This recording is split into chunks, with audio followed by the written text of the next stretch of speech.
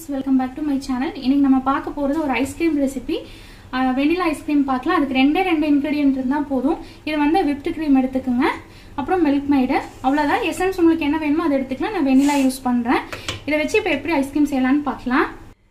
நான் ஒரு half packet ஊற்றிக்கிறேன் போதும். இப்போ இந்த விப்டு க்ரீமை நல்லா பீட் பண்ணிக்கோங்க.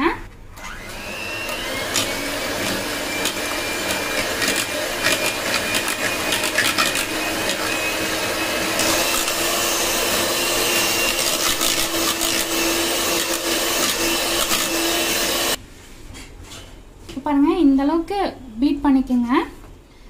பண்ணிவிட்டு இதில் வந்து மில்க் மைட் ஆட் பண்ணலாம் நம்ம இப்போது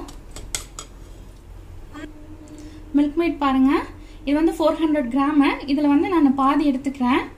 ஸ்வீட் உங்களுக்கு நிறையா வேணும்னா முக்கால்வாசி எடுத்துக்கலாம். கூட வெனிலா எசன்ஸ் ஆட் பண்ணிக்கலாம். வெனிலா எசன்ஸ் ஒரு டீஸ்பூன் ஊற்றிக்கோங்க பண்ணிக்கோங்க. இப்போ டேஸ்ட் பார்த்துட்டு ஸ்வீட் பத்தலைனா கூட இன்னைக்கு கொஞ்சம் மில்க் மைட் ஆட் பண்ணிக்கோங்க.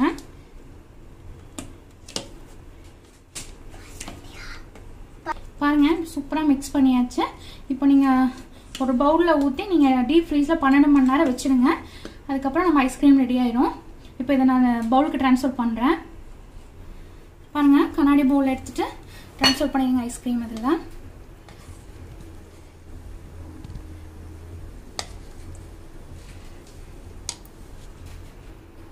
பாருங்க நான் ரெண்டு பவுலில் எடுத்துக்கிட்டேன். இப்போ இது வந்து ஃப்ரீஸ் ஃப்ரீசரில் வச்சுருங்க. வச்சுட்டு கிட்டத்தட்ட எட்டுலேருந்து பன்னெண்டு மணி நேரம் விட்டால் ஐஸ்கிரீம் ரெடி ஆயிரும். நான் இப்போ நைட் வைக்கிறேன். நாளைக்கு நான் மார்னிங் காட்டுறேன் உங்களுக்கு.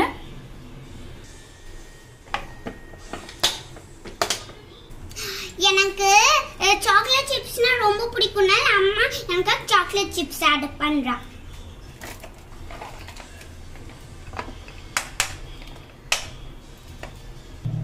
இதை ஃப்ரிட்ஜில் வச்சாச்சு. இப்போ நம்ம நம்ம அடுத்த நாள் காலையில் பார்க்கலாம். காலையில் ஆயிடுச்சு. நான் ஃப்ரிட்ஜ் ஃப்ரீசர்லேருந்து எடுத்துட்டேன் ஐஸ்கிரீமை ஓப்பன் பண்ணலாம். இங்க பாருங்க எப்- எப்படி கெட்டி ஆயிடுச்சுன்னு. ஸோ ஐஸ்கிரீம் பாருங்கள் ரெடி ஆயிடுச்சு.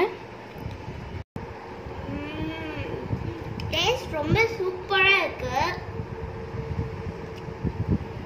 ஸோ இனிமேல் கண்டிப்பா ட்ரை பண்ணிப்பாங்க நம்ம ஐஸ்கிரீம் ரெடி நான் இதை சாப்பிட்றேன்.